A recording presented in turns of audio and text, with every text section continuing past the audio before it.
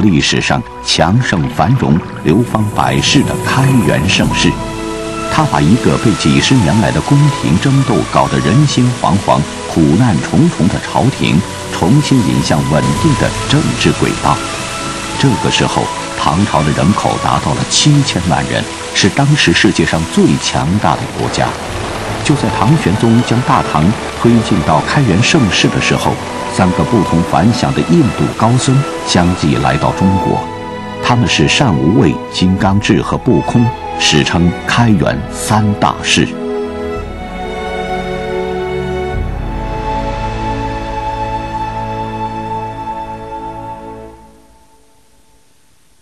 唐玄宗是一个呃非常崇信道教的一个一个一个皇帝，那么他呢对道教的特别的崇信，在那个时候出现了一个事情，就是开元三大士，也就是呃密教的三个著名的祖师。啊，来到了中国，那么创立了中国的佛教宗派，叫密宗。单无畏是应中国唐朝皇帝之邀，通过陆路前来中国，一路上历经艰辛，于开元四年即公元七百一十六年到达首都长安，时年已经八十岁。唐玄宗对单无畏十分礼遇，奉为国师，作为内道场教主。金刚智大约在公元七百一十七年前后，从印度摩赖耶国出发，经海路前往中国，历时三年艰辛跋涉，于开元八年即公元七百二十年到达洛阳后，又去长安。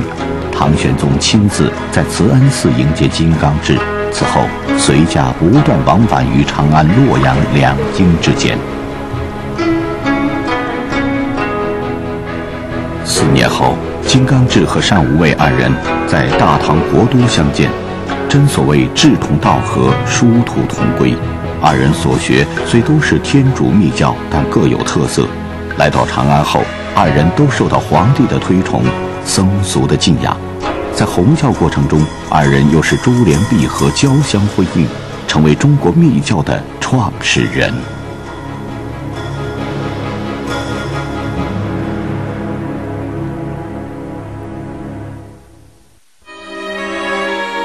开元三大士的最后一位是不空，不空是十三岁时遇到金刚智，十五岁出家，跟从金刚智学习，随侍左右。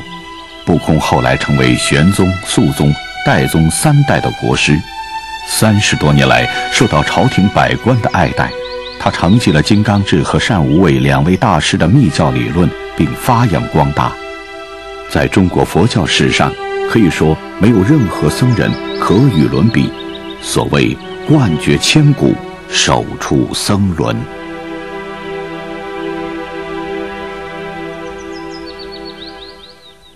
开元三大士里边，最后这位不空的成就最大。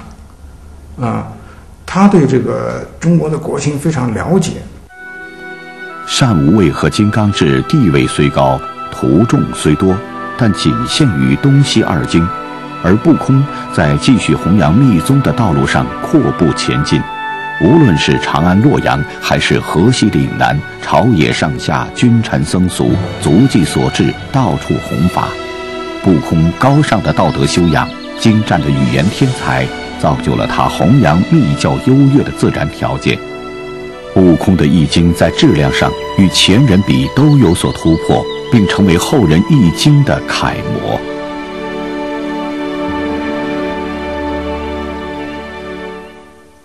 悟空呢，他经历了这个中国盛唐时候社会转折的一个最重要的一个变化——安史之乱的时候，中国这个佛教，呃，中国这个社会由盛转衰，社会就是也经历了重大的这个战争啊危机。这时候呢。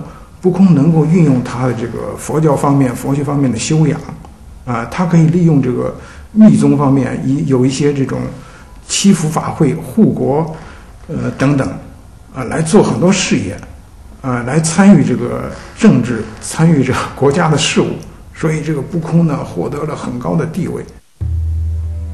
不空晚年在五台山让弟子建造五处寺院，又在太原设置文殊院。这些寺院成为密教盛传之地，不空也不断地深入社会基层，现身说法。经不空的弘扬，密教成为唐代佛教八大宗派之一，开创了唐密的鼎盛时代。善无畏、金刚智和不空三位大师，不仅把后期密宗的根本经典《大日经》《金刚顶经》和《苏悉地经》等译出，同时又在长安等地建立了一些规模宏大的灌顶道场，以开展传法灌顶活动。将唐代佛教八大宗之一的密宗在中国的影响推向了高潮。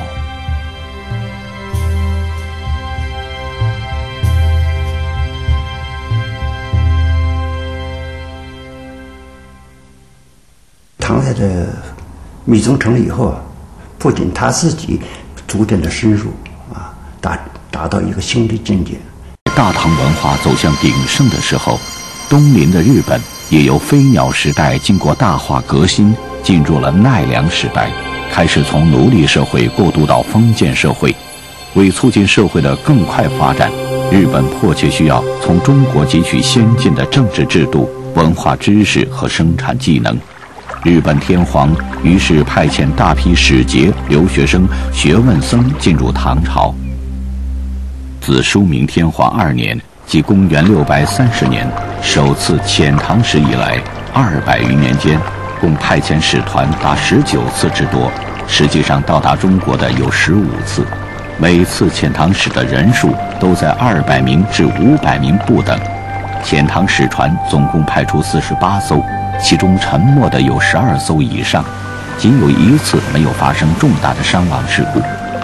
日本留学生和留学僧归国时携带的中国书籍多达一万六千卷，大约占唐朝官方藏书总数的四分之一。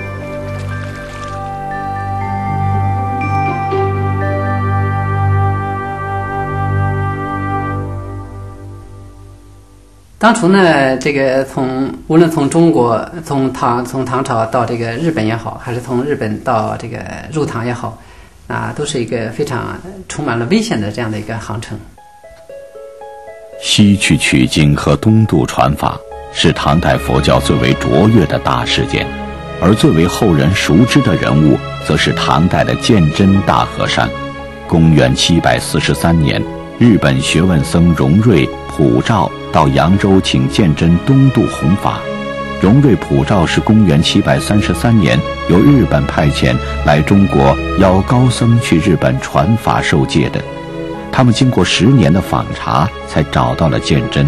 鉴真当时已五十五岁，为了弘扬佛法、传播唐代文化，欣然接受了荣瑞、普照的邀请，决定东渡日本。